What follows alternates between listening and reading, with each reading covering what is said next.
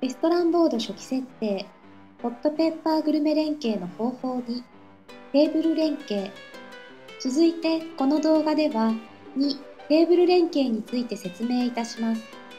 なお、テーブル連携を始める前に、レストランボードでのテーブル設定はお済みでしょうか左上のメニューからテーブル情報を開くと、設定されているテーブルを確認することができます。まだテーブル設定ができていない方は、初期設定、テーブル設定編の動画がありますので、そちらをご覧になってからテーブル連携を始めてください。それではテーブル連携に戻ります。画面左上のメニューから設定を選び、ネット予約連携をタップ。2、テーブル連携をタップします。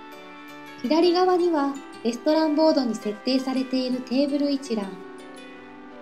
中央にホットペッパーグルメから連携させるテーブルの選択。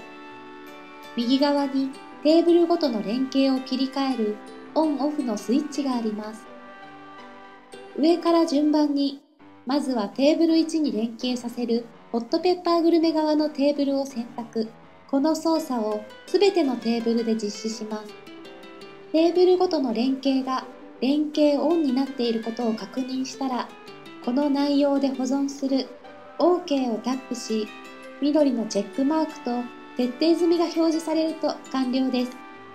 これでテーブル連携は完了しました。次の動画では予約受付曜日の設定を説明いたします。まだここにない出会い、リクルート。